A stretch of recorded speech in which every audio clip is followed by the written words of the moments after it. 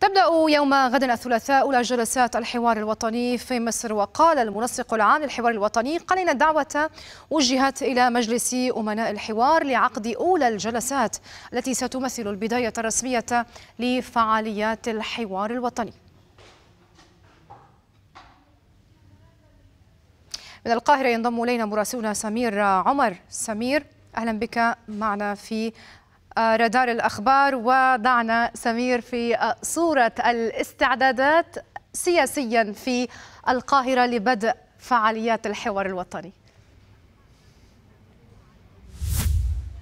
يعني دعينا نشير في البداية إلى أن ما سيحدث غدا هو أول اجتماع لمجلس أمناء الحوار الوطني السياسي المصري. غدا لن يكون هناك حوار للمشاركين المدعوين من ممثلي الأحزاب والقوى السياسية ومؤسسات المجتمع المدني والمفكرين والمثقفين وممثلي النقابات. غدا فقط مجلس أمناء الحوار سيجتمعون في الواحدة ظهرا بتوقيت القاهرة.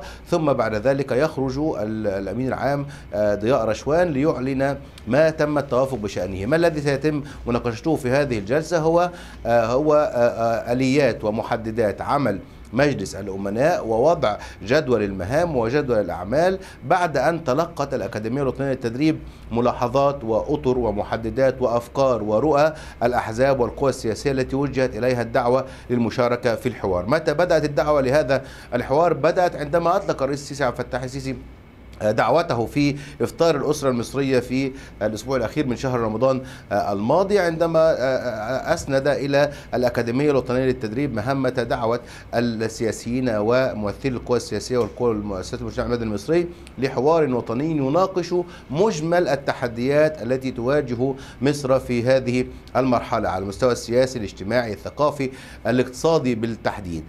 من هم المدعوون؟ المدعوون هم من وجهت إليهم الأكاديمية الوطنية للتدريب الدعوة من ممثلي الأحزاب والنقابات والقوى السياسية وبعض من كانوا يوصفون بمعارضي الحكومة المصرية نعم سمير. في الخارج ما, ما هي الأفكار التي توافق الجميع بشأنها هناك رغم اختلاف الرؤى وتباين الآراء هناك اتفاق واحد ووحيد بين كل المشاركين والمدعوين للحوار هو رفض أن يكون من تلوثت بيديهم بدماء المصريين من التنظيمات الإرهابية أن يكون له حضور في هذا نعم. الحوار ومن ثم هذا محل اتفاق بين الجميع من القاهرة مراسلنا سمير عمر. شكرا جزيلا لك سمير على كل هذه المعلومات.